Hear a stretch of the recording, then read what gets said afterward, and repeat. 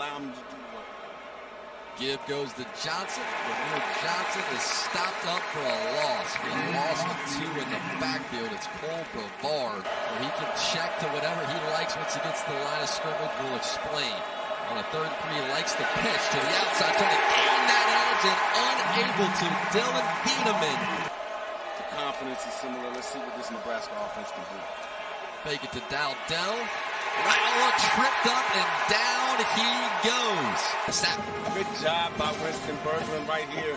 Again, once he saw his opening triggered, found some space to get Dylan Raiola down. Again, when you're dealing with a quarterback like Raiola, he's always looking to stay a passer, always looking to put the ball. 42 this time from 44 yards away.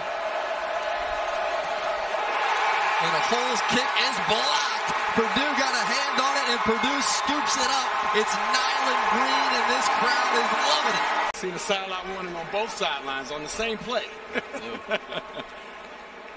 Big time turning point in this game. Purdue Boilermakers, man. They're taking the message by Ryan Walters, their head coach this week, and saying this is the week, this is the game our playmakers have to show up. This is the week we have to show the Big Ten. We're here to play. Everybody's open. Every part of the field is live. If Hohl can get this taken there, he can. He has another one blocked. And Purdue scoops it up. So a couple of times now, the Boilermakers rising, getting a hand on the football. This was everything as you're going to see the snap right there. Just that little bit of hesitation as the ball is spinning and it comes out low.